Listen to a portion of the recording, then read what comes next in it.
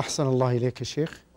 في حديث يقول السائل ورد عن رسول الله صلى الله عليه وسلم سبعون من أمتي يدخلون الجنة بغير حساب ومنهم الذي يرقى نفسه. لا يدخل في جملة هؤلاء. ما معنى هذا الحديث؟ وهل هو صحيح؟